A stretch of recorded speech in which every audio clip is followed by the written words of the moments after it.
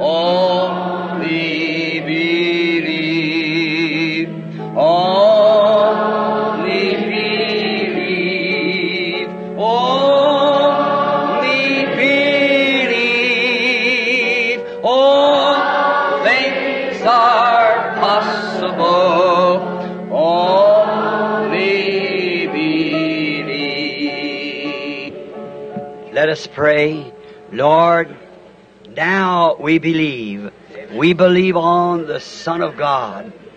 And through this we accept eternal life through Him. Now we have gathered again this afternoon or this evening for another service, trusting you for the message and for what you will tell us tonight. We believe Thee, Lord, and we wait upon Thee. You said, They that wait upon the Lord shall renew their strength. They shall mount up with wings like an eagle. And we pray, God, that you'll give us that mounting up power tonight as we wait on Thee.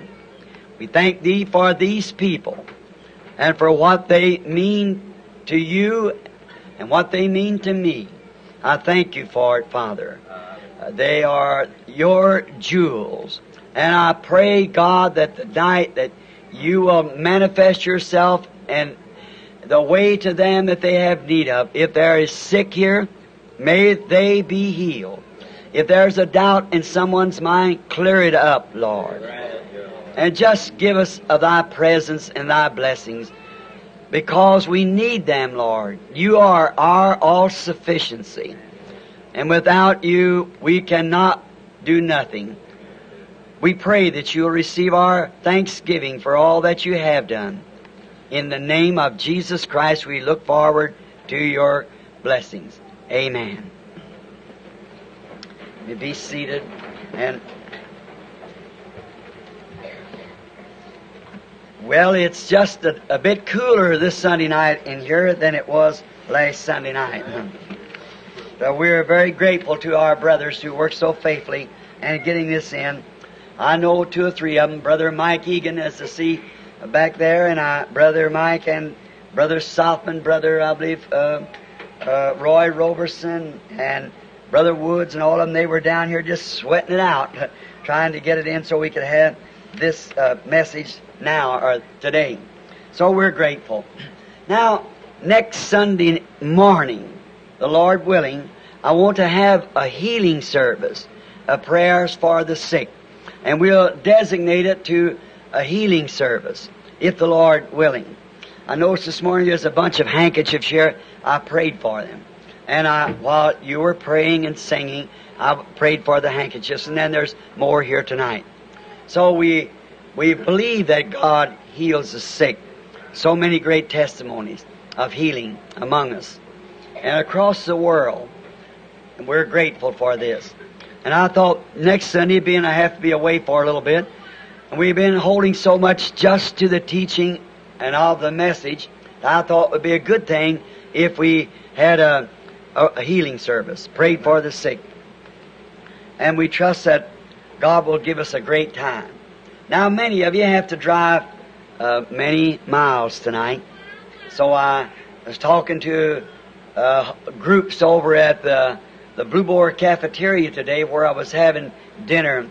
Many fine people. I got to shake their hands and talk with them. People I never met before that come here to the church. And I'm grateful for such friends. I want to thank each and every one of you. Some of them picked blackberries and brought us, and one brought us a bucket of syrup or molasses, I believe it was, and and just think you don't know what that means. And of a morning, I come up and go out of the house sometime. There was other morning there was some brother there that was real bad off, had no clothes and things for me. Go get him some clothes. I started out and I almost stumbled over a bucket of blackberries sitting there. And I said, you bring these blackberries? And he said, no, never had nothing to do with it. I've been here before daylight and they were sitting here then. And is my good brother Ruddle had brought them to me. And so those things I certainly appreciate. Billy Paul just made mention to me a few moments ago that among this congregation tonight that took up an offering. That for me. I I thank you for that. I didn't want you to do that. I I just appreciate your efforts and so forth, but that wasn't necessary. And but the Lord bless you. You know, you know the Bible said, "In so much as you have done unto the least of these, you have did it unto me." Now, I've been kind of speaking to you on the message very straight, and uh, some people might be under the impression that that uh, I think that Jesus is going to come in the morning or tonight. I do. I, I don't say that He will. And again, He may not come for next week. It might be next year. It might be ten years. I don't know when He's coming. But there's one thing I want to always you bear in mind. You be ready every minute or hour. That if He doesn't come today, He might be here tomorrow. So just keep that in your mind that He's coming. And I don't know what time is going to be my last hour on this earth. Neither does any of us. And there's none of us know when He's coming. He doesn't even know Himself by His own words. He said the Father only knows when He will come. Not even the Son knows when He will come. It's when God sends Him to us again. But we're looking for His coming. And if He doesn't come in my generation, He might come in the next. If He doesn't come in that one, He'll come in the next.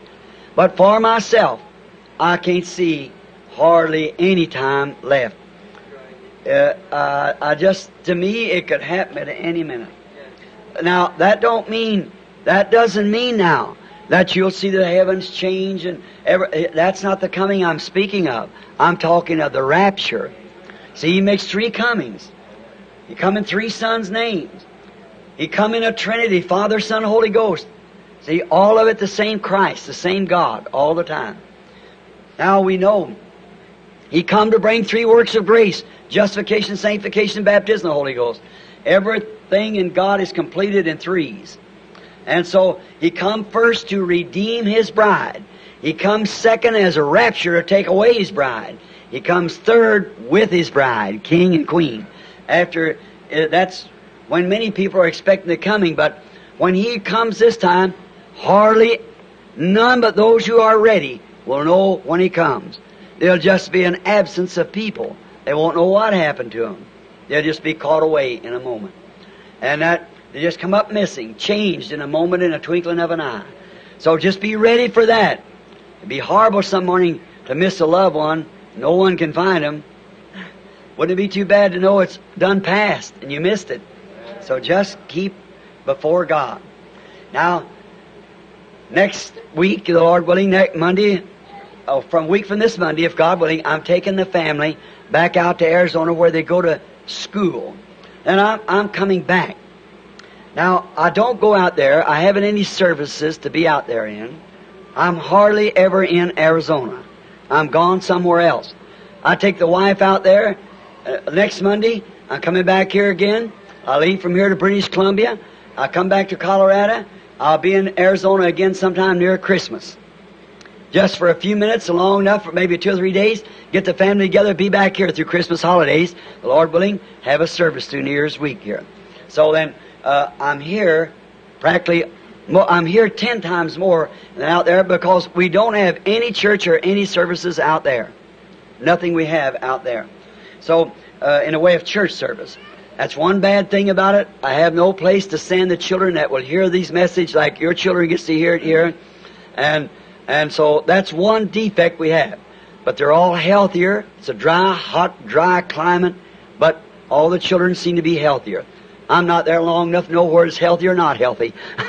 I'm on the move and I, uh, I guess I was just born a rambler. My wife calls me I know she's here, so I'll get this after church. You all know. what is that called? Shifting winds or restless winds or whatever. Whatever, you know, shifting sands or I'm always on the move, in other words. And I've been married now 22 years, and uh, sometimes I think I'm a stranger around the house because I have to be going. But I'm looking for the time that when we'll be settled down in the homeland someday. But now the battle's on. So let's be uh, in prayer. Don't forget, next Sunday morning, the Lord willing, bring in your sick and the afflicted. Come early. Get your place and probably as a group to be prayed for. We'll have to give out prayer cards. If there isn't enough, we won't give out prayer cards, just enough to form a little line like two or three dozen or something. But we, uh, we'll probably give out prayer cards, so we'll probably do it about an hour before the regular service, which I think takes up, it'd be 8, 8 or 8.30, they'll give out the prayer cards, open the church, give the prayer cards next Sunday morning. And then be sure to be here for your, bring your loved ones, put them in there, be nice and cool in the church if they're sick, and we'll do everything we can to pray for them. Thank you again for the love offering. And now we're going to read some of God's Word tonight and be ready for uh, this uh, event of His presence again to bring us His Word. Now we know we can read a text, but God has to reveal the context. See? We can take a text, but God has to reveal the context. While you're turning now in the book of Jeremiah, the second chapter, I want to say that I'm glad uh, I have with us Brother Lee Vayle, a precious brother in the Lord. And I think your uh, brother here, I can't think of his name, um, Brother Willard Crase. And I've seen the brothers from Arkansas, Brother John and them from around Poplar Bluff, and Brother Blair, and oh, Brother Jackson, Brother Ruddle, and so many that I, I just can't. I wish I could call everybody's name, but I just can't do it. And you understand, Brother Ben Bryant, I see him sitting here. He's usually my amen corner. Well, um, everybody knows Ben by his voice. We sitting in California one time. I was preaching a message for the Baptist people up in the valley. We had a big tent there and a lot of st- kind of aristocratical Baptist. I could never hear a amen from anywhere, you know, afraid some of the women break the paint on their face. And then, first thing you know, I seen a pair of feet about like that go up in the air and two big hands and a black hair shaking their horn, amen, screaming like that. And I looked down and I said, Ben, where did you come from? He's really getting the amen. I see his wife looking him over a little bit. well, he's losing a little of that black hair, but that's all right. Don't get worried about that. I did mine a long time ago. So now, don't forget to pray. Now, while we get to the sincere side of the service, remember, if we read this word, then God will bless His word. It will not return to Him void, but it will accomplish that which is purpose for. And I know in reading the word, I'll always be right when I read the word. God will honor His word. Now let us stand in respect to His word.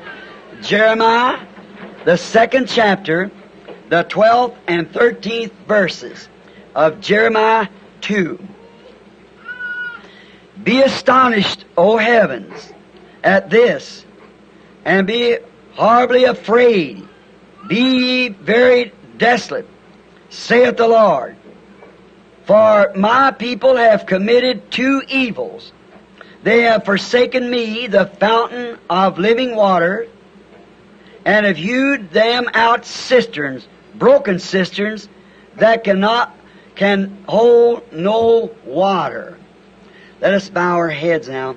Dear God, Thy word has been read, and we pray that you will honor that word and give to us tonight the parable or the parallel of it. As we look to uh, days gone by, Israel as examples, as the Bible teaches us, that we can see what you did to them when they obeyed the Word, see what you did to them when they disobeyed the Word, and learn what we must do. So we pray that you will speak to us tonight in a very special way that we might know how to conduct ourselves in this day that we learn this morning that we're living in. For we asked it in Jesus' name, Amen. You be seated.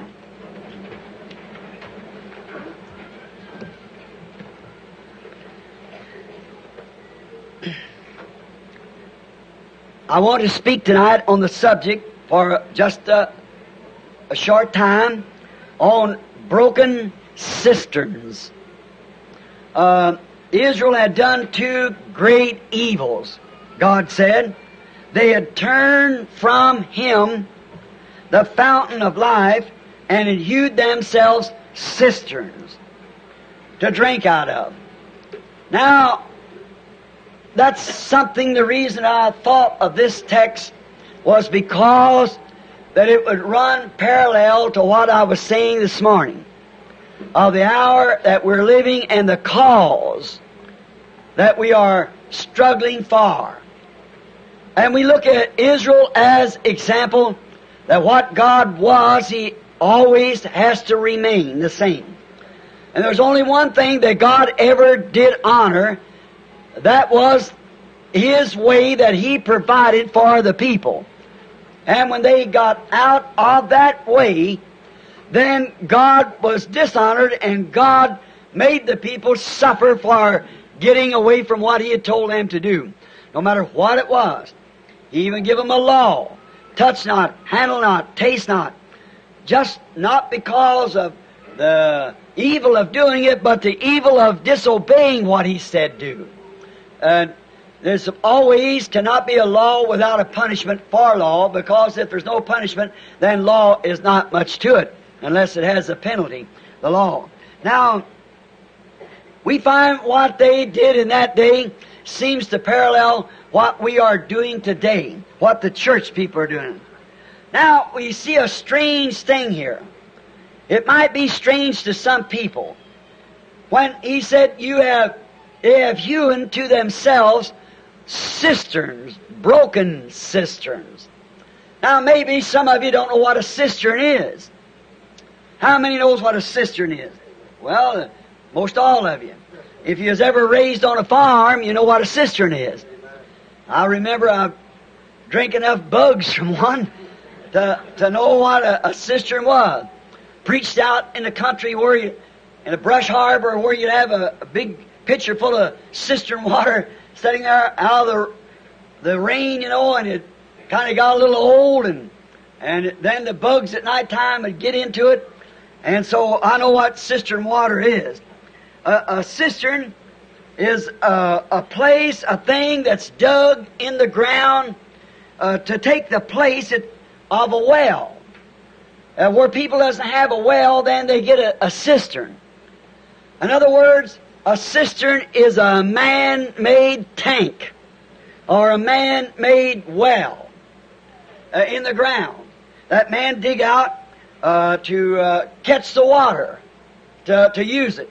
Some of them use it for wash water, and some use it for drinking water, and different way. Maybe all the water sometime that we used to get was on a cistern. Used to have an old uh, thing that had to wind around, around, around, around to get the water up. Had little buckets on it to pump the water out of the cistern. Well, we notice one thing about a cistern. It's different from a well. Now, a cistern will get empty. Uh, the, the, the cistern cannot fill itself. It is, is, is not reliable. You can't rely upon a cistern. It has to rely and depend upon the rains that fall in the summer or in the winter, whatever it is, to, usually in the winter time. When the snow and rain comes, then it runs the water off into the cistern. And if it doesn't get that water, then you, you don't have any water. It's all, it's all dries up. And it can't refill itself. The old cistern cannot re- refill itself. It gets its filling from the, the rains that falls. And I want you to notice another thing about a cistern. Usually, you find, or the way it was at our place, the cistern, usually the barn's about twice the size of the house, and they usually run the water off the barn to the cistern. I remember that old cistern well out there when you had, when the, the drain pipes rush it into off the barn. It fills from the barn, so then the water is carried from the roof of the barn where all the animals stepping around through the stable yard and um, all the filth of the barnyard settles on top of the barn in dry times, and then the water comes and washes it all down off the roof into a trough it's man-made, then into a man-made spout, and then into a man-made cistern. If you haven't got a mess, I don't know what you got when you got a cistern. Yes, sir. It's all man-made and just as dirty as it can be. Uh, you know, we used to call, we had a filter rag on one. Did you ever know what that was? Had to put a filter rag on it to catch all the bugs and things that come off the top of the, the barn and all around the place and pour it out from one place to the other into the cistern. And we used to put a, a filter rag on it to catch all the, the scum and stuff that we could. Of course, that wouldn't catch the real dirt. It just caught the big missiles that come down and fell into it. Uh, the bug might fall in it, but the juice of the bug went on with the water. So you, you really had a mess when you had an old dirty cistern. in a few days, you let that water stand there, and it becomes stagnated. You let the water stand the cistern, it becomes stagnated. And it gets full of, of frogs and lizards and snakes, and we used to call it wiggle tails. Little bitty, I don't know where they're, not a parasite, they're, uh, I don't know what you call them, but some little thing gets in the water that uh, we called it wiggle tails. You know what it is. How many knows what I'm talking about? Why, sure, all you country folks know. Um, gets it all full of stagnation. And then these lovers of stagnation comes with it. It just actually comes because it's stagnated.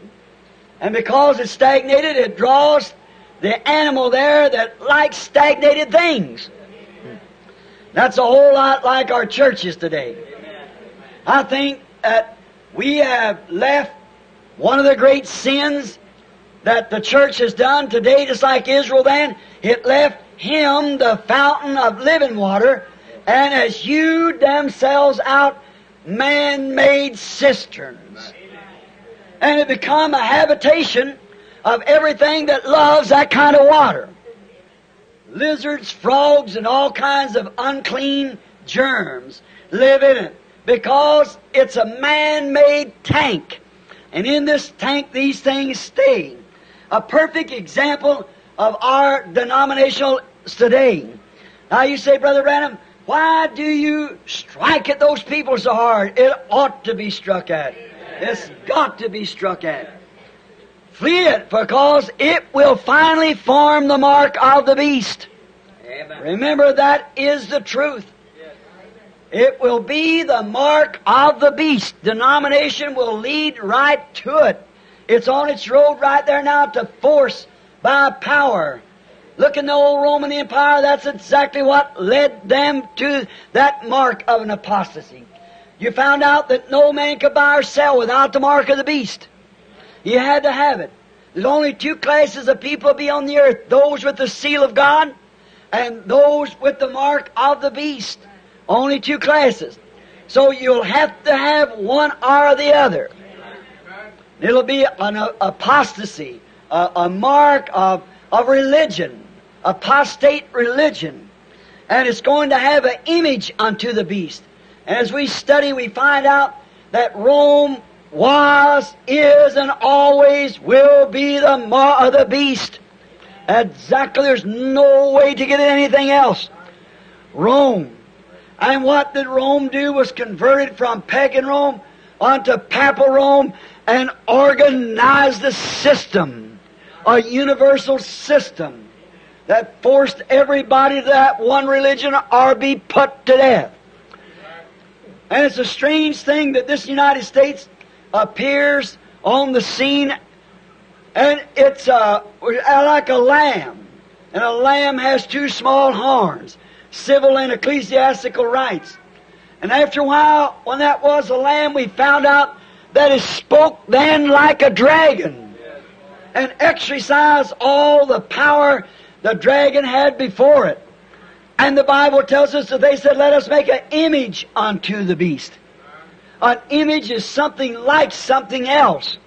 And we can see it right now that in its apostate condition, the church is forming the World Council of Churches, which is the image to the power of Rome and will force upon the people the same thing that pagan Rome did, or Papal Rome did.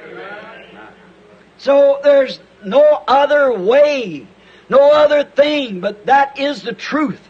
And that's why I'm striking it in my age, in my time. Because it's got to be struck at. The call coming to come out of her, my people that should be not partakers of her sins. Now, I'm liking that to these dirty, filthy cisterns. He is the fountain of life. He is the living waters. And man leave that and dig for themselves cisterns, which can only catch the filth. That's the only thing it can catch. And that's what denominationalism does. It catches everything that comes along. It wants to join. They're willing to take it in if it's got some money. Or can dress in a certain way. No matter who they are, where they come from, they take them anyhow. Now we find again that this mark of the beast that was formed here, America is numbered 13. It was born with 13 colonies. It had a flag, it had 13 stars, 13 stripes. And it even appears in Revelations, the 13th chapter. And America has always been a woman represented on our coins. Even the Indian head on a penny is a woman's profile. We know that, know the history of it.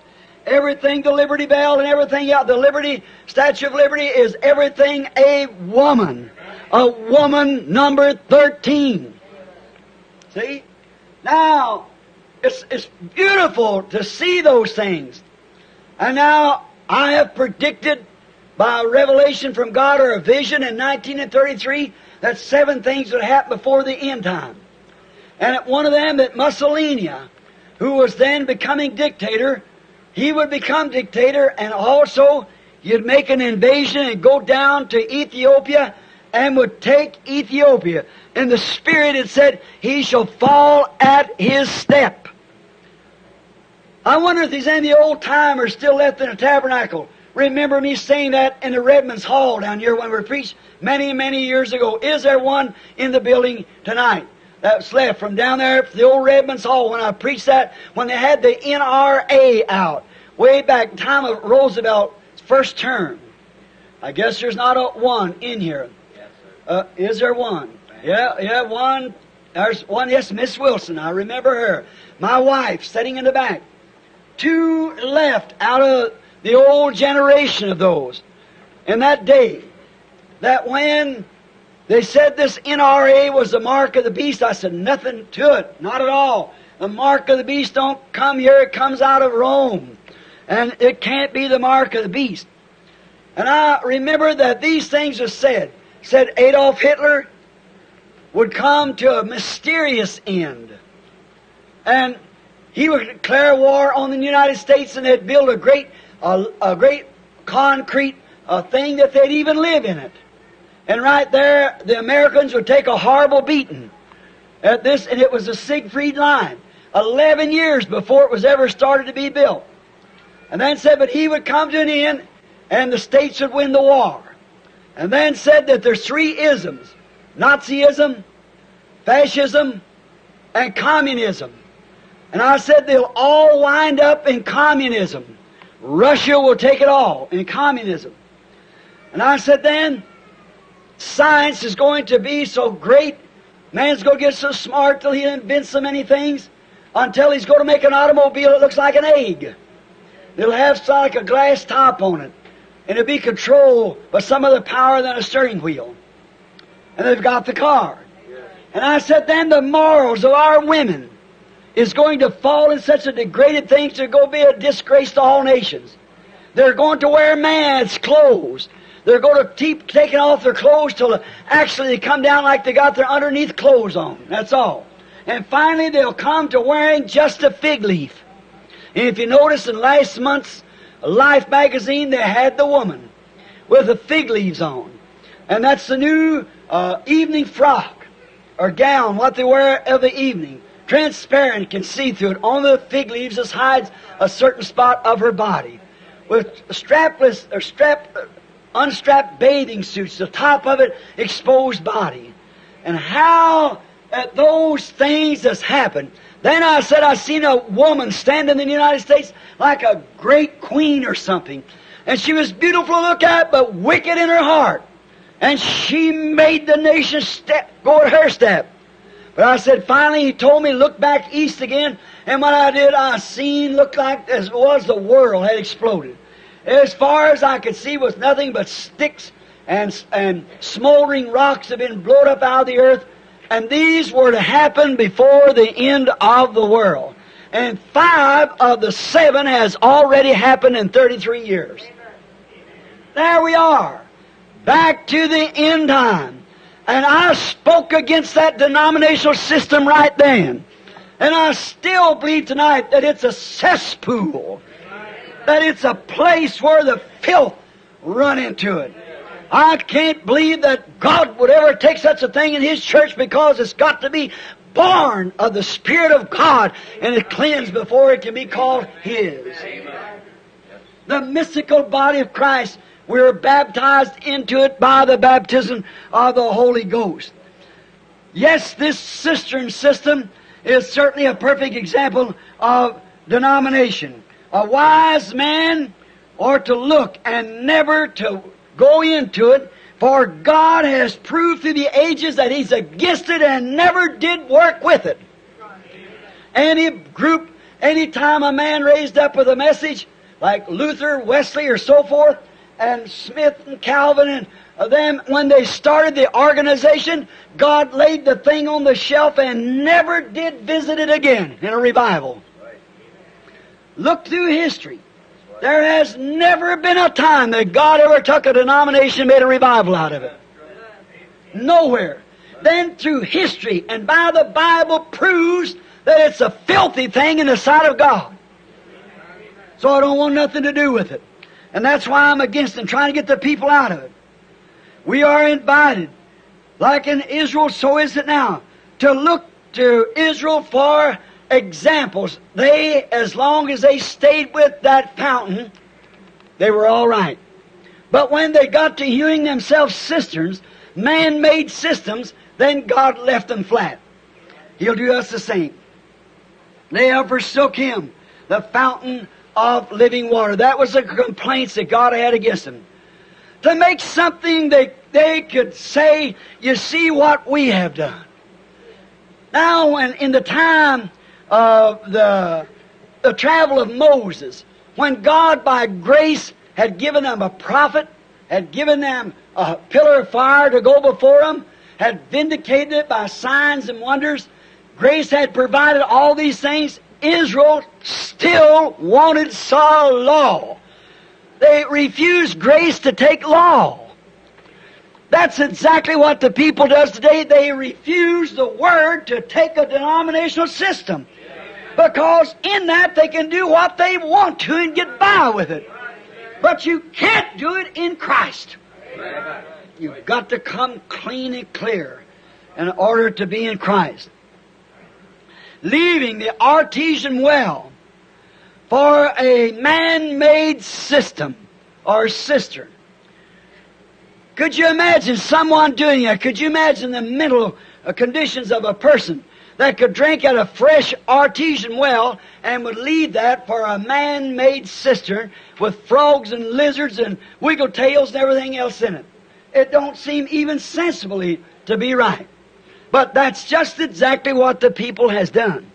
They've left the Word, the true fountain of God's source and power, to drink out of cisterns and make themselves cisterns. Same as they did then, they have done it now. He say, he said they've left me here. He said uh, here in Jeremiah two and uh, fourteen or thirteen rather. He said they have left me, the fountain of living water. Now we see what a cistern is. We see what it catches. We see how it's made. It's a man-made thing. It comes off of a dirty roof. The water that falls down hits on a dirty roof and it only washes the roof off, puts it down through a man-made trough, through a man-made spout into a man-made tank. And all the filth gathers in there and the, the germs and the lizards and frogs and things of the land like that. And notice they are the unclean animal. Wiggletail stagnated. A wiggletail can't live in clear water. If it does, it kill him. He's got to be in the stagnation. And that's the way it is with a lot of these uh, parasites today. You can't live in the fresh water of the Holy Spirit. That's the reason they're so firmly against the Word. and say it contradicts itself, there's nothing to it. it, is because they have to have some kind of a stagnated pool to wiggle in. Right? Right. That's the same way it is with frogs and with lizards and with tadpoles and such as that. They've got to get around the swamp or the stagnated pool to live. For it's their nature to live there. And you can't change the animal till you change its nature. And you cannot make a man see the Word of God till his nature's been changed. And when his nature is changed from what he is to a son of God, and the Holy Spirit comes into him, the Holy Spirit wrote the Word of God. Today I was talking with my good friend Dr. Lee Vayle, who's present now. And he's a, quite a theologian. And so we usually have some, have some pretty good discussions on the Scripture. Very smart. And he asked me one time what I thought about the initial evidence of the Holy Ghost. Was it speaking in tongues? It's been many years ago. I said, no. Can't see that. He said, neither do I. I said, though I've been taught that. He said, what would you think would be evidence? I said, the most perfect ev- evidence I can think of is love. And so we got talking on that. And then I thought that sounded pretty good, so just help that if a man's got love. But one day the Lord, in a vision, straightened me out. And he said that the evidence of the Spirit was those who could receive the Word. Neither love nor speaking in tongues, but receiving the Word. And then Dr. Vayle was saying to me that that is scriptural. He said, because in John 14, Jesus said, when He, the Holy Ghost, has come upon you, He will reveal these things to you that I've taught you and will show you things to come. So there is the genuine evidence of the Holy Ghost. He's never told me anything wrong yet. That it is. The evidence of the Holy Ghost is He who can believe the Word. If you can receive it. Because Jesus never said when the Holy Ghost has come, you'll speak with tongues. He never said the Holy Ghost come, you do any of those things. But He said, He will take these things of mine and show them to you. And will show you things that is to come. So there is the genuine evidence of the Holy Ghost according to Jesus Himself. So all these sensations and things that people have and still live on, you can see why they do it.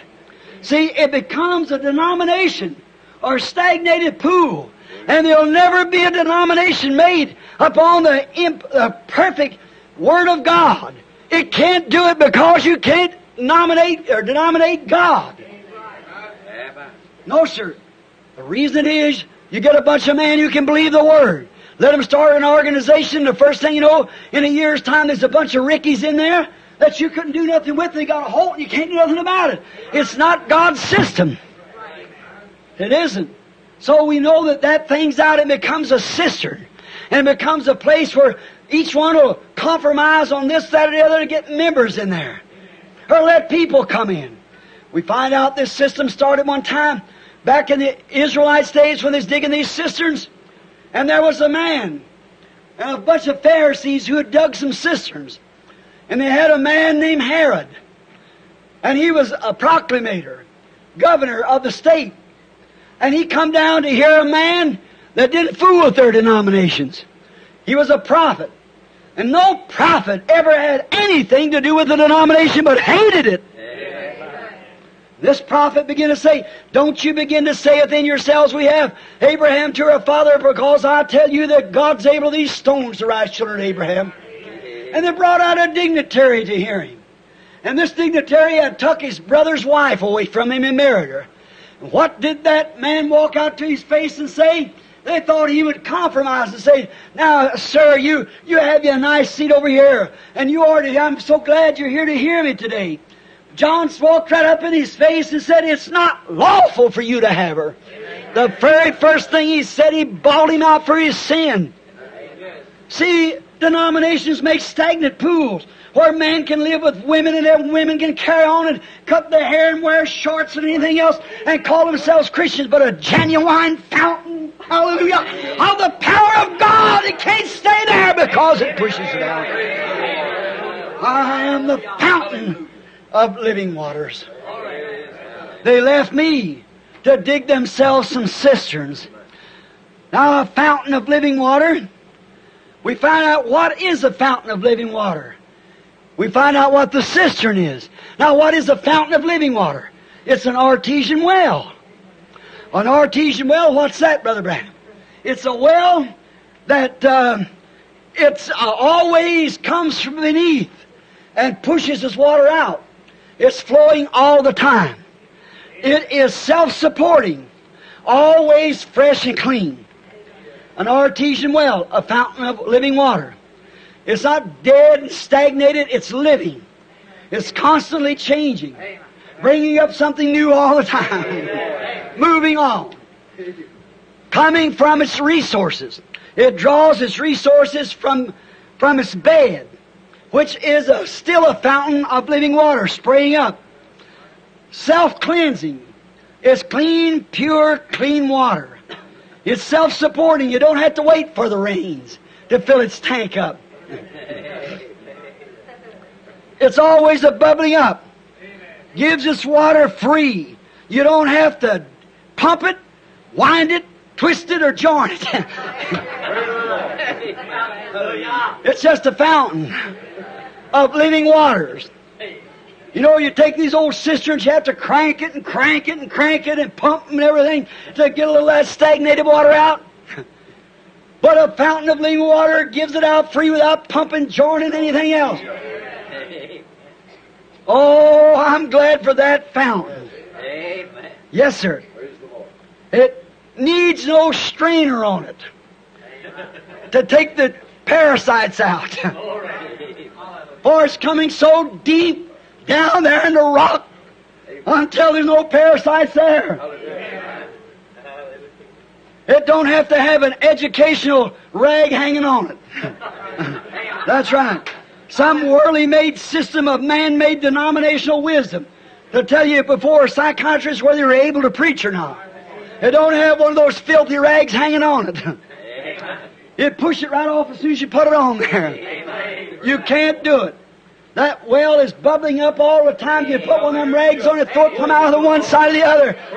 It don't have no time for a denominational rag on it. You don't need no filter, no strainer, no pumping, no jerking, no nothing else. It's just there bubbling up. It don't have to depend on local rains to fill it up. Rains are revivals. Where that fountain, that's at that fountain of life, where the carcass is, the eagles will gather. You don't have to pump up a revival. You don't have to pump up nothing. Only thing you have to do is just come to the fountain.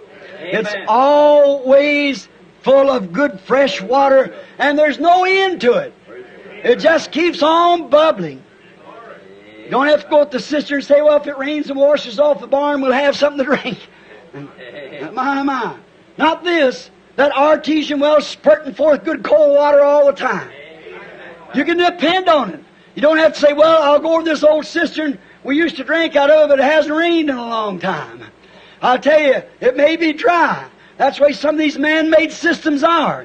You can go in if you got a big something going on, a big caboose selling something, or or some kind of a something going on, a big parties and things going on, bunco games and parties in the basement, and everything. You might find a full house. But where you go to where that fountain is bubbling up, always the people are there getting a good cold drink of water. You can depend on it. Say they haven't had a revival for ten years. If you live by that fountain, she's always got a revival going on. Like the little Welshman said, or one time when they had the Welsh revival going on, there's some dignitaries from the States. Some of these great doctors of divinity went over to Wales to find out where and what all this was about. So they had on their turned around collars and their plug hats and they're walking down the street and here come a little cop along, whirling his little billy club in his hand, a whistling down at the cross where my Savior died, down there for cleansing from sin, I cried, there to my heart was the blood applied, glory to his name, walking down the street. So they said, this seems to be a religious man, we'll go ask him. And they said, Mister, said, yes, sir. He said, we are here from the United States. We're a delegation. We come over here to investigate the Welsh revival, so called. We are doctors of divinity, and we're here to look it over. He said, We want to know where the revival is and where it's held. He said, Sir, you have arrived. I am the Welsh revival. the Welsh revival is in me. Here's where it's at. That's the way it is when you live by that fountain of living waters. It's living all the time, bubbling over and over and over and over. There's no end to it. Now go sift some water. We had a rain here not long ago. That's not it. It's that fountain of living water. As I say, it gives us water free. You don't have to put rags on it to find out some educational rags before you send him out to preach and see if he spells his words right, speaks them right, if he uses nouns and pronouns and so forth and adjectives. Many of them don't even know what they are. But he's living at the fountain just the same.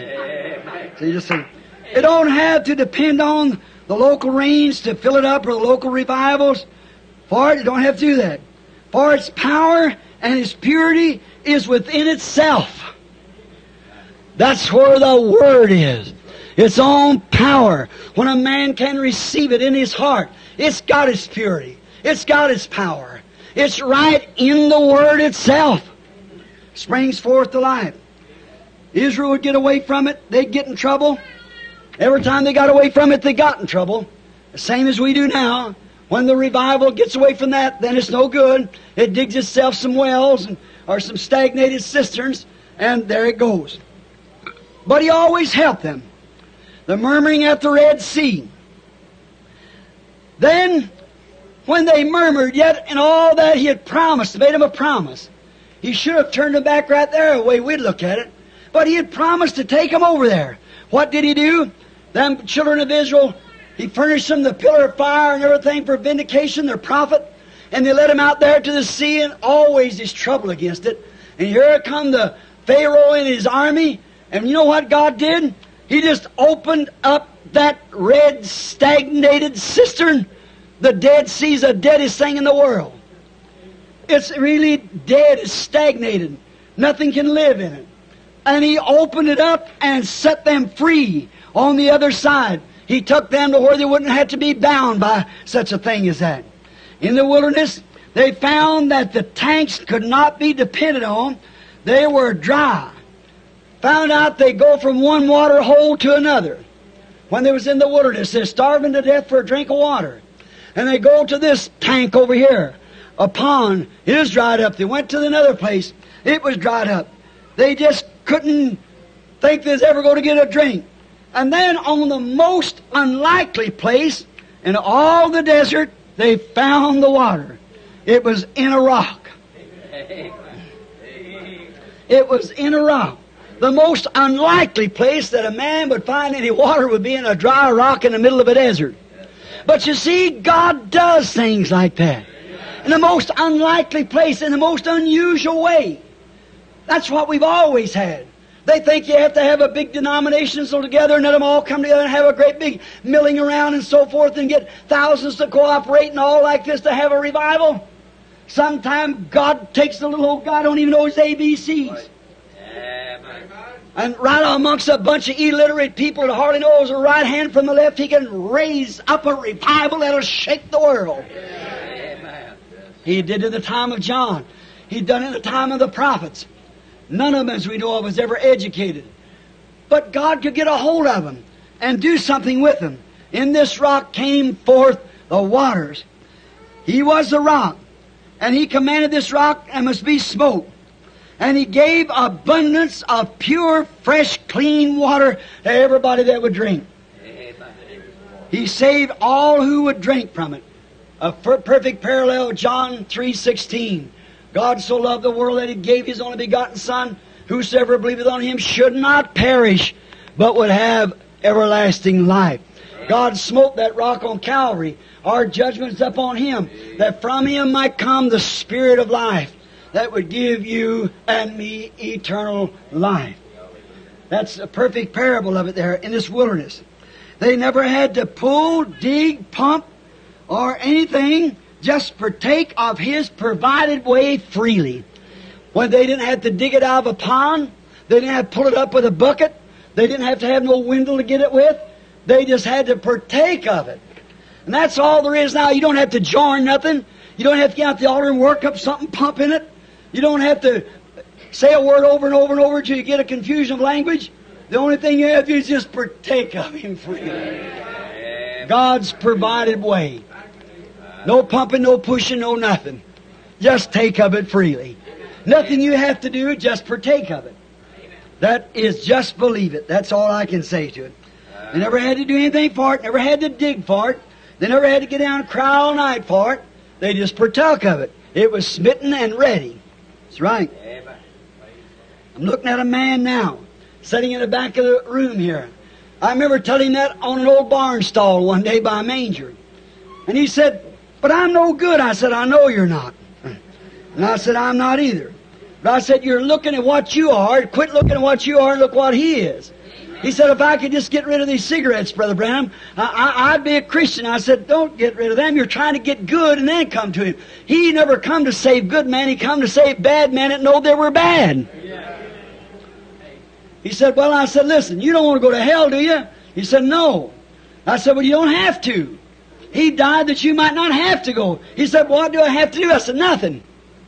It's just that simple. He said, But if I can ever, I said, There you go back to that cigarette again. Quit thinking about that cigarette. Just remember, think about Him. What He did, what He is. Not what you are, you're no good, and you never was, never will be. But what He is. He's the one. And I said, now the only one thing you have to do, if He took your place down there, you just willingly accept what He did. The only thing you have to do is just accept it. Well, I said, that's simple, I'll do that. I said, here's the creek. I brought him up here and baptized him in the name of Jesus Christ. Some of these people are sitting here, and I, I know uh, they felt funny at me for doing that. But I know what I was doing.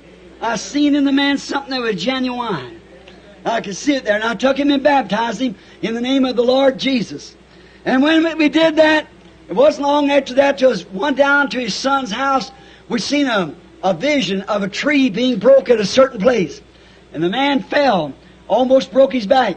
Took him in the hospital, and that night the Lord revealed to me that was the end of cigarettes. So the next day he wanted some cigarettes. I said, I'll buy him a carton and take it to him. you just watch and see. His cigarette days are done. He's never smoked one since, never wanted one since. God. See, the first thing you've got to do is to come to that fountain. You've got to come to that water. Realize it's nothing that you can do. It's what He done for you. You don't have to dig, you don't have to pump out, you don't have to quit this, you don't have to quit that. The only thing you have to do is get there and drink. That's all you're thirsty, drink. Now, he was the rock. God smote him for us. And he gave forth abundance of pure, clean water. He does yet today to everyone that will Amen. believe. This is his grace, of course, to his people, us. There's something like there, like the people of today, ready to receive what they can get, but don't want to give any service in return. Israel was ready to, to drink from the rock now, but they didn't want to give God his service that was doing. And he's always given us a service. You know, we can't even breathe without him. We can't breathe without God's service. That's how dependent we are on him. And yet, it almost breaks us in two if we try to do, have to do something for him. He asks us to do something. Go see somebody. Go pray for somebody. Go help somebody. It's almost breaks us up to do it. But we don't want to do anything to Him for service. His complaint was, they have forsaken me, the Word, and have accepted a broken cistern instead. Except they have forsaken me, the fountain of life, the fountain of water of life, and they desire and would rather drink from a stagnated cistern. Could you imagine that? Could you imagine a person now that here's an artesian well is putting out that fine limestone water right out of the heart of the rocks down there in the sand beds and so forth, just as cold and good as it can be, and would rather drink out of a cistern over there that had washed off the top of the barn, the sheds, and all the outbuildings around the place, and put it right into that cistern there where the seepage of the water drains right back into from the barn, the stables and stalls, and everything draining right back into the cistern. And then we want to ex- drink out of that before going to that artesian well, there would be something mentally wrong with the person. That's right. And when a man or a woman will take a denomination on their stand that'll permit bobbed hair, wearing shorts, makeup, all this other kind of stuff, and some little kind of a, a program and all this carrying on and can go to the bowling alleys and, and all that nonsense out there and can put up with that and like that better than they do the old fashioned Word of God that cuts down and hews out and makes ladies out of women and takes them, makes them dress right and act right, takes cigarettes and tobaccos and swearing and cursing and lying and stealing away from you and all the world away from you and give you something that's a perfect satisfaction. Why do a man or woman go to such a thing as that for comfort? How can you get comfort out of that? How could you get a fresh drink out of a stagnated cistern? Why would a person, if a person goes to a stagnated cistern to get a drink when there's an artesian well open, you'd say there's something wrong with that man's mind. And if a woman or a man goes to such a place to find comfort, there's something spiritually wrong with that person. They don't want the Word. It shows that their nature is still a frog or a tadpole or something. That's right. Something of that nature that likes that stagnated pool. Because them kind of things won't live in a freshwater pool. They can't do it. It's freshwater. They can't do it. Now, the complaint was they left it. And today they've done the same thing. Now, look at the woman at the well. Well, she'd come up to Jacob's cistern. And she had been getting water there all the time at Jacob's cistern. But Jacob's uh, cistern denomination, we would call it, because he dug three of them. And this one he had dug. Now, she had a great story. She said, Now, our father dug this well, Jacob. He drank out of it, his cattle drank out of it, and everything isn't that good enough? He said, But the water that you draw from there, you thirst again. Have come back here to get it. But said, The water that I give you is a fountain, a geyser, spurting up from the inside and you don't come here to get it. It's right with you. Notice. But when she discovered that a scriptural fountain had spoken to her by a scriptural sign that she had been looking for, she left that Jacob's denominational system and never went back to it again because she had found the real rock. She run into the city. She was through with sin. She was no more a foul woman. She said, Come see who I have found. A man who told me the things that I've done, isn't this the very Christ? She, that cistern might have been all right. It had served its purpose. Now, she was at the true fountain. The cistern had been all right until the true fountain was open. But when the true fountain come along, the cistern lost its strength. She found there's a better place to drink. And there is a better place. There's a better place, than that's in Christ. In St. John 7 37 and 38, Jesus said at the last of the Feast of the Tabernacles, If any man thirst, let him come to me and drink. They were all rejoicing. They had a little spurt of water coming out from under the altar, and, and there they was all drinking from this in celebration of the, of the feast, and said, Our fathers drank from the spiritual rock in the wilderness sea. They had hewed themselves a cistern. Some stagnated water they pumped down from somewhere and spurted it up under the temple there. And they would all get around this water and drink and say, Years ago our fathers drank in the wilderness. Jesus said, I am that rock that was in the wilderness. Said, We eat manna from heaven and God rained it down. Said, I am that manna. That fountain was standing among them. That bread of life was standing among them. And still they did not want it. They'd rather have their cistern. Because man had made this and God had sent that. That's exactly the difference. Dug themselves cisterns. He said, If any man thirst, let him come to me and drink. He is that fountain. And as the scripture has said, out of his belly shall flow rivers of living water. Oh, he is that artesian well. Out of his belly or innermost being shall flow rivers of living water.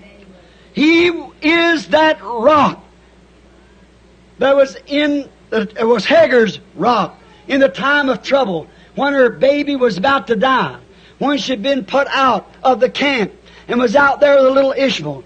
Her water in her cistern that she was packing with her had give out. And she laid little Ishmael down and walked over a bow shot and cried. And well, because she didn't want to see the baby die. And all at once the angel of the Lord spoke and she found Beer of Bathsheba, the, the well there that was flowing is still flowing to this day. He was Hagar's Beer of Bathsheba rock out there in the wilderness. It was standing here in the fountain filled with blood that day, standing there in the temple. Uh. now, time of storm. In Zechariah 13 chapter, he was that fountain opened in the house of David for cleansing and for sin, cleansing of sin. He was that fountain. In the Psalms 36 9, he was David's fountain of life. He's still that fountain in the house of David, and he's the poet's in his heart. There, poet said, there is a fountain filled with blood drawn from Emmanuel's veins. When sinners plunge beneath the flood, lose all their guilty stains. He is that fountain of life, fountain of water. He is the Word of God. People of these last days has forsook him, the true Word, water of life, and has hewed themselves out denominational systems. And again, hewed, dug, and now we find out they have bro- had broken cisterns. And then this cistern is filled with unbelieving germs, unbelieving, uh, boasting, educational programs, and so forth, which is contrary to God's promises. They're doubters of the Word. Now, these cisterns that they've got, the Bible said were broken. Broken cistern is a leaking cistern. And it's seeping out. What's it doing? It's sleeping out into a religious cesspool called the World Council of Churches. And that's where the broken cistern is leading them to. All because they have forsook Him and have uh, the fountain of living water and made these cisterns. Digging out big seminary systems of learning education and so forth. That's the kind of systems they're digging today. That a man has to have a PhD or LLD or Bachelor of Art or something before he can even go preach. Systems that has been filled with man-made theology. They take them into these great big schools of learning. And in there they inject into them their own man-made theology. And they send them out with that. What a day that we're living in man-made cisterns. No trouble. The, no wonder the thing has become a, a stink. Oh my! It's because that the people drink from that. And when the people want joy today, what do they do? The people, instead of accepting the joy of the Lord, they turn to sin for joy. People who go to church and claim to be servants of Christ, when they get real nervous, they'll light up a cigarette. And when they when they want to to have some fun, they stick on their immoral clothes and go out and cut the grass when the man's going by and give a whistle at him. They do everything to be popular. They want to look like the movie stars. That's their joy. When Jesus said, I am their sufficiency, the reason that they go to that because they don't want to drink from that fountain. They've turned it down. They don't want to drink from it. They join themselves to some kind of a man-made system. Some kind of a cistern is full of all kind of stagnated things that they can go like that. Yesterday, we had the kids up on the river, I believe it was Saturday morning.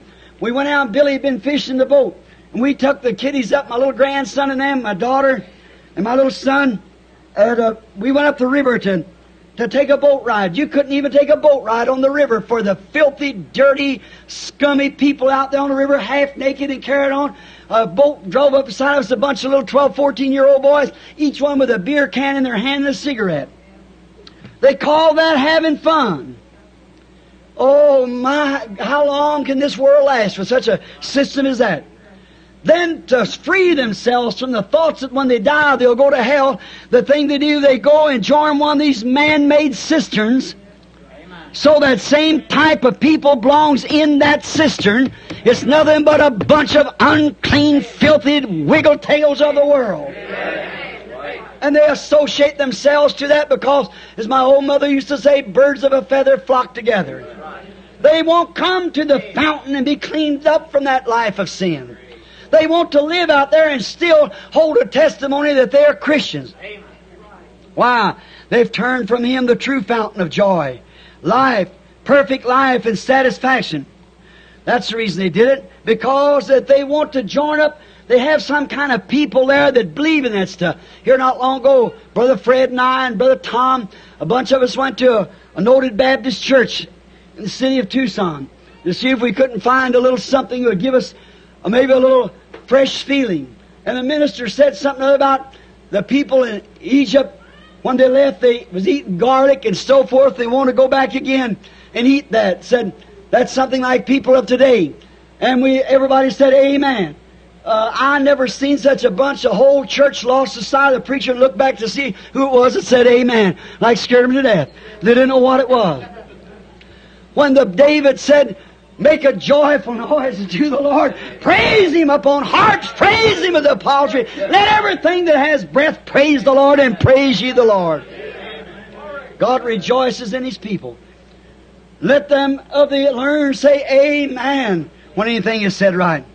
Why not turn from this system and cisterns of the world to the faithful system of God which is the artesian well, Jesus Christ.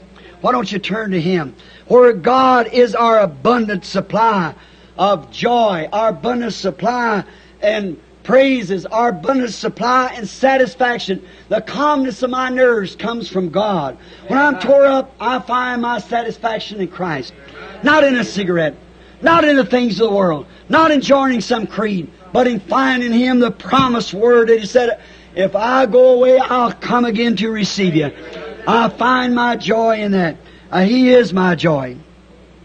They say today, by joining these things and by making this world council of churches, that they're going to make a better place to live in.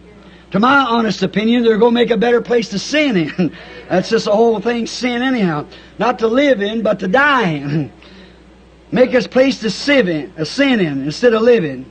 Any other thing outside of Jesus Christ and His Word of life is a broken cistern. Anything that tries to substitute it.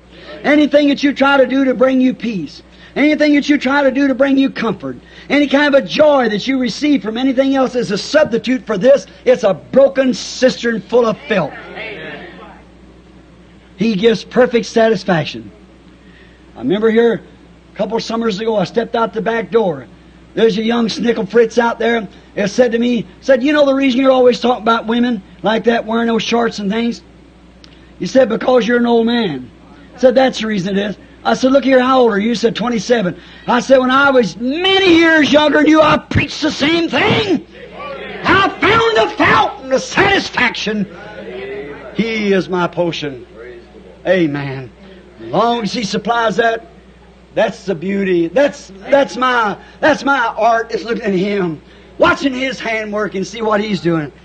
There's no other fount I know. Oh, precious is the flow that makes me white as snow. No other fount I know. Nothing but the blood of Jesus. There is a fountain filled with blood, drawn from Emmanuel's veins, where sinners plunge beneath the blood, lose all their guilty stain. I'm telling you, no other fountain I know but that fountain. It cleansed me when I was dirty. It keeps me cleansed because I want to live right at it. Drink this fresh water that fills my soul with joy. I can be so ever so down and feel that I can't hardly go no another round, can't go nowhere else. Then I can kneel down and put my finger on a promise and say, Lord God, Thou art my strength, Thou art my satisfaction, Thou art my all in all. I can begin to feel something bubbling up from inside of me there. I come out of it.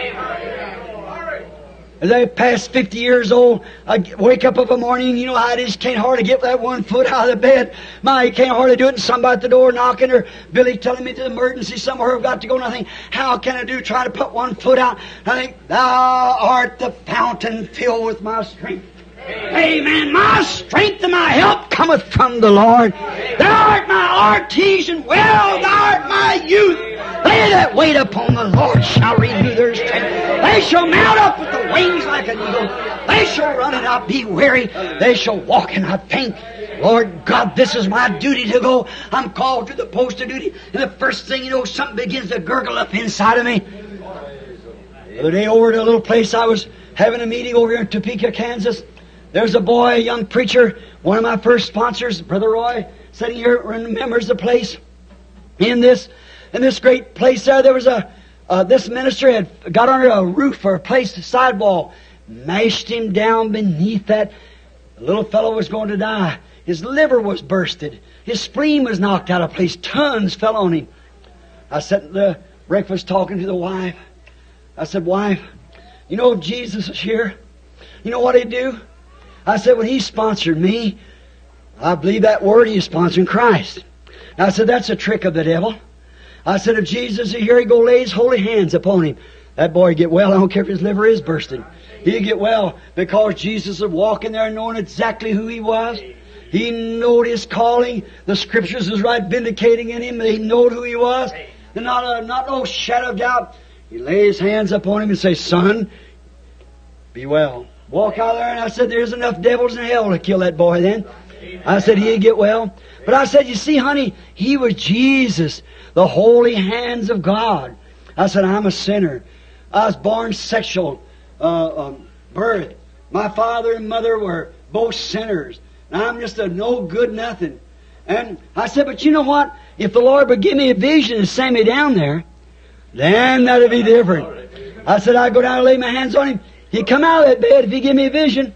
Then I got to thinking, after all, if it was the vision, what was it? It was the same dirty hands on him. Same man praying for him.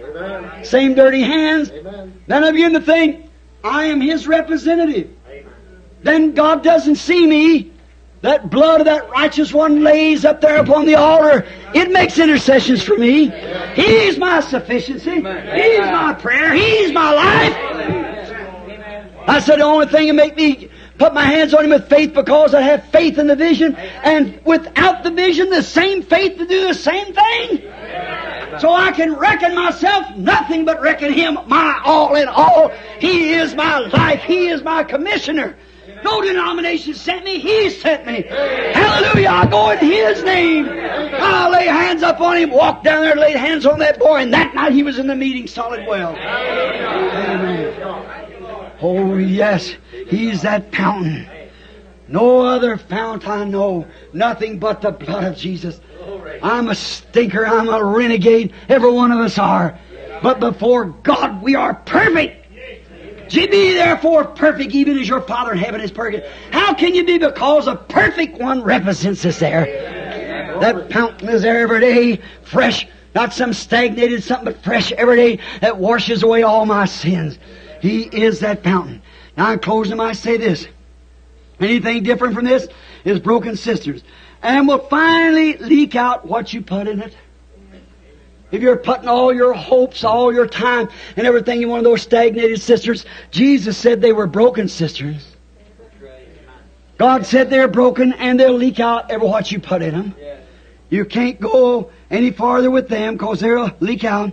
For He is the only way to the truth, to the life, and to eternal joy and eternal peace. He is the only one and the only way to that.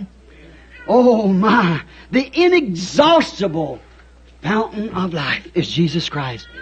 Why? And who is He? The Word. The same. The Word, the life, the fountain, the same yesterday, today, and forever. The true believer, it's his supreme joy, his supreme life, and his supreme satisfaction is in Christ. No pumping, no pulling, no joining, no bailing, just believing and resting. That's what he is to the believing. Like Father Abraham, He never pulled, he never fretted, he never wearied. He had the Word. He laid upon El Shaddai's breast.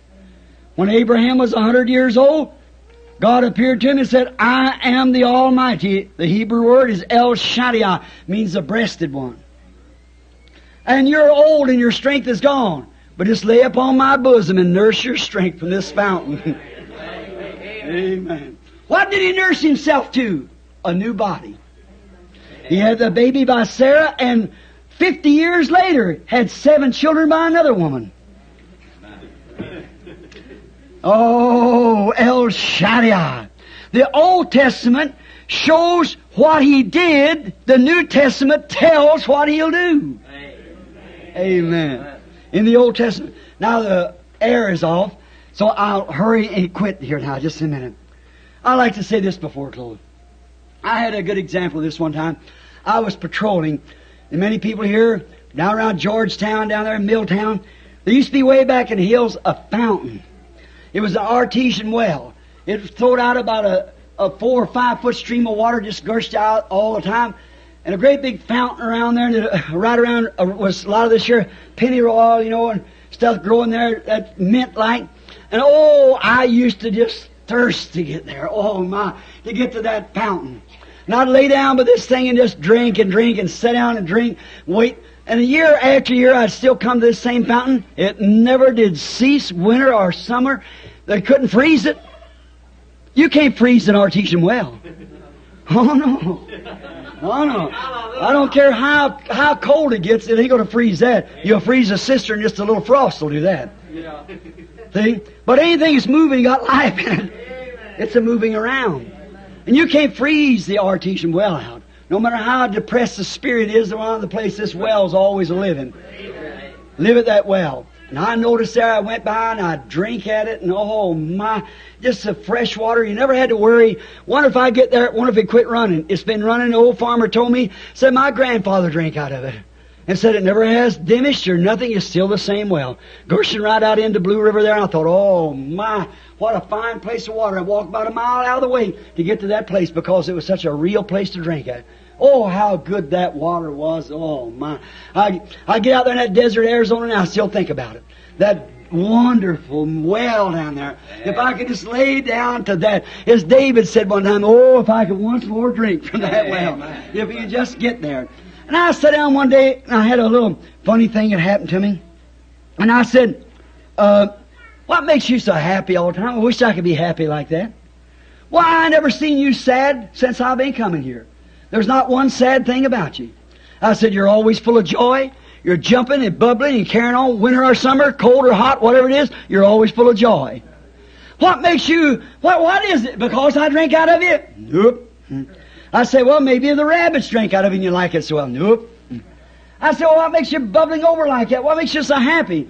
What makes you always full of joy? So is it because that, that the birds drink from you? No. Because I drink from it? No. I said, well, what makes you so full of joy? Now, if that well could speak back to me he'd say this, Brother Branham, not because you drink, I appreciate that, because I can furnish for the birds, I furnish for anybody who wants to drink. Only thing you have to do is come here and drink.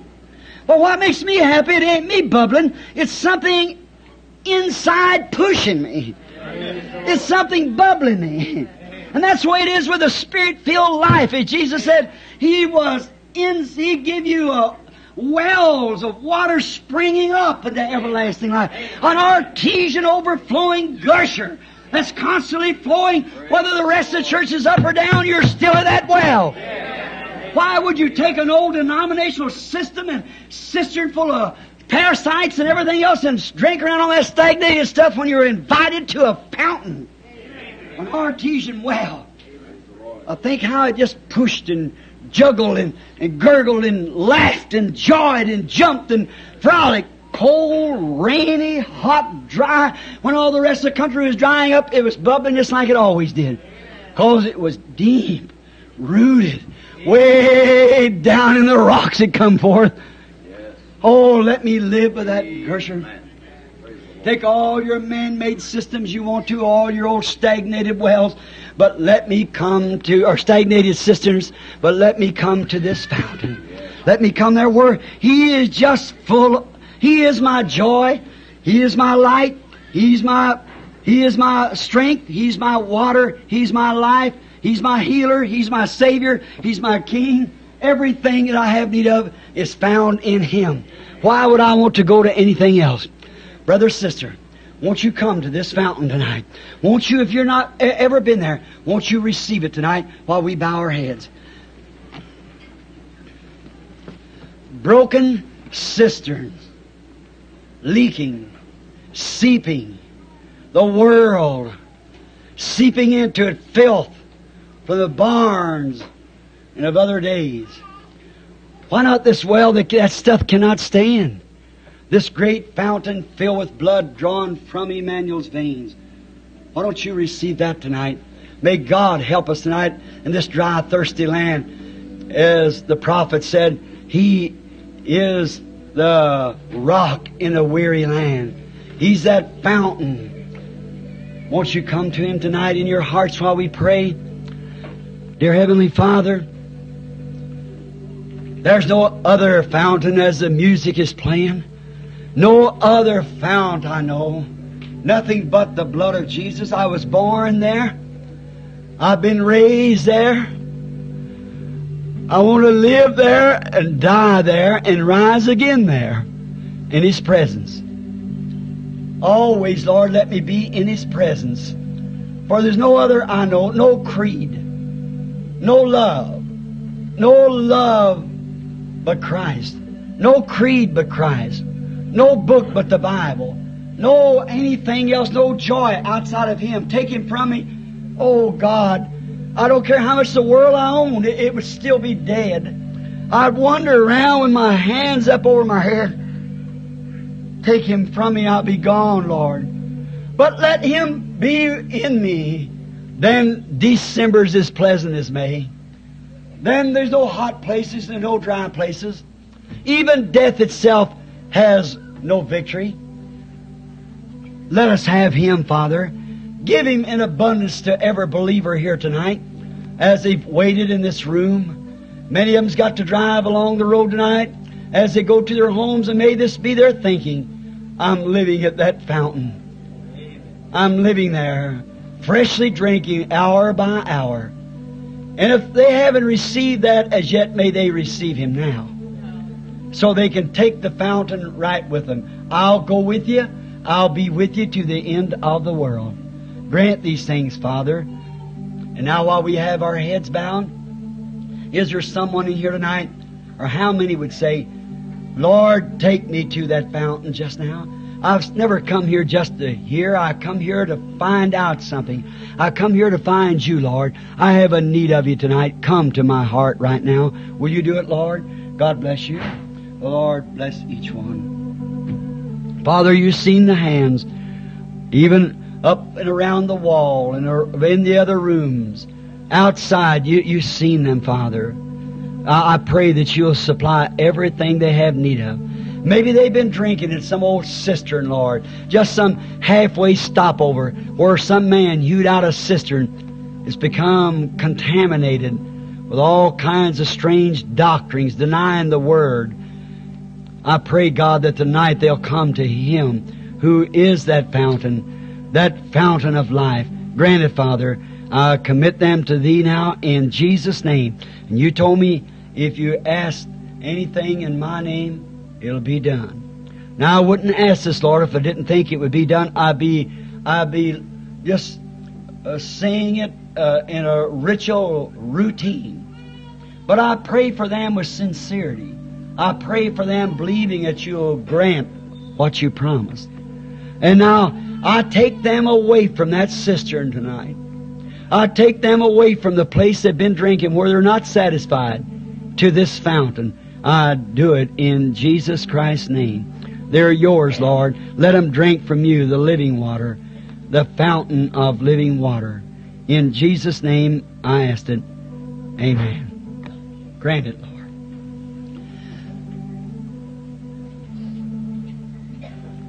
Oh, precious is that flow that makes me white as snow.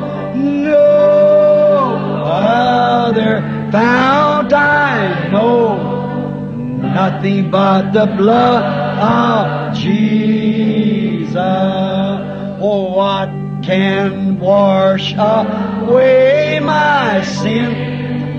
Nothing but the blood of Jesus. Oh, what can make me whole again? Oh, nothing but the blood of Jesus. Oh, Jesus, heal these, Lord.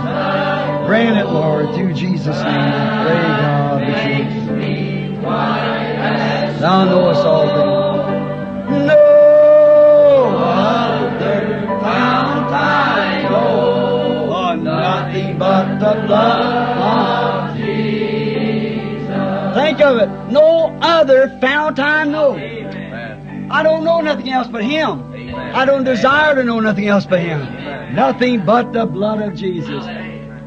Oh, oh, precious is thy blow that made me white as snow. No other fount I know. Oh, nothing but the blood of Jesus.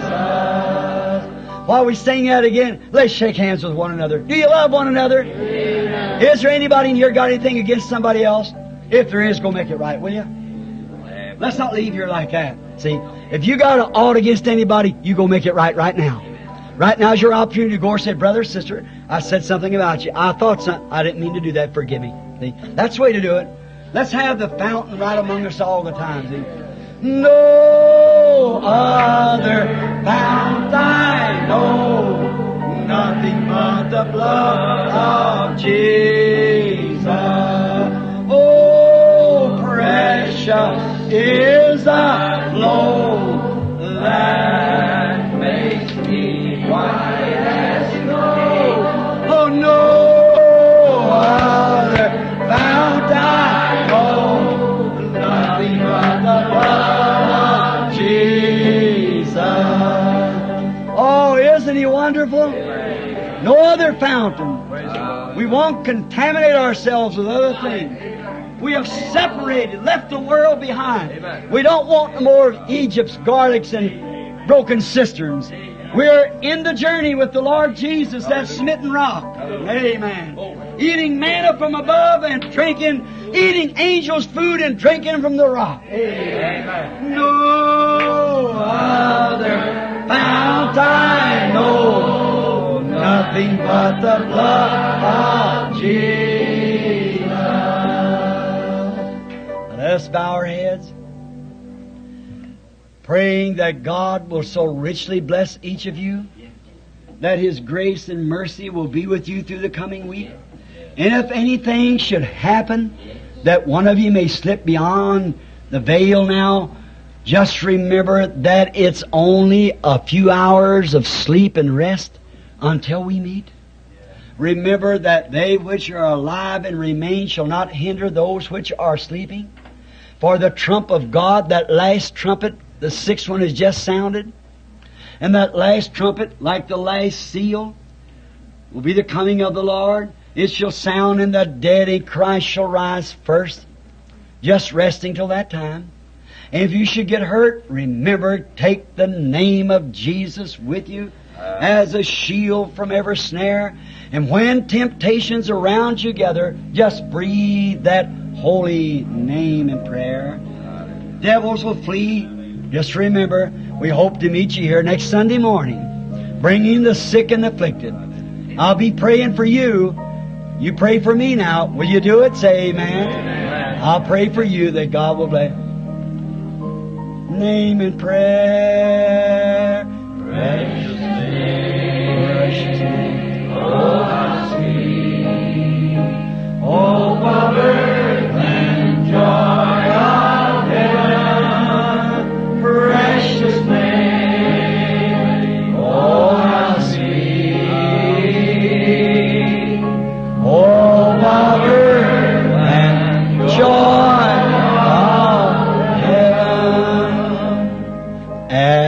the name of Jesus. bowing, falling prostrate at his feet. King of kings in heaven will crown him. Oh, when our journey is complete, precious name, precious name, oh, isn't it sweet and precious? Oh, word and joy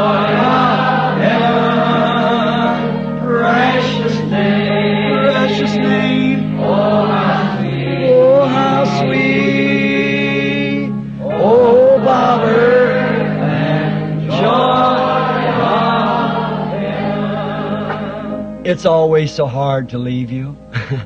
Although I know you're burning up, but there's just something about that's one more verse of something. Will you do it? Will you do it? Blessed be the tie that binds, sister. How many knows the old song? We used to sing it years ago. Now I sing it tonight. Two hands out of the hundreds that's left. When we used to sing that song around the tabernacle and charm one another's hand. Blessed be the tie that binds. I've buried a lot of them right up here in the cemetery. They're waiting. I'll see them again. I see him once in a while in a vision. When I look beyond the veil, they're there. Let's bow our heads now as we sing. Blessed be the night that binds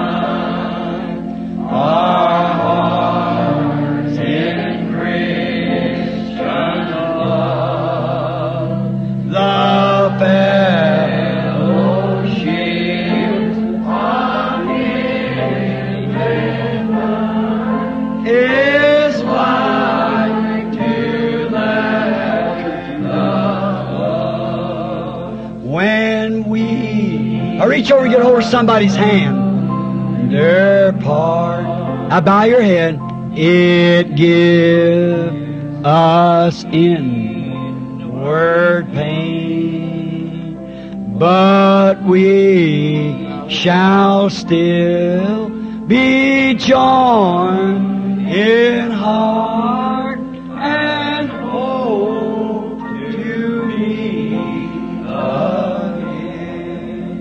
With our heads bowed, I turn the service to the pastor.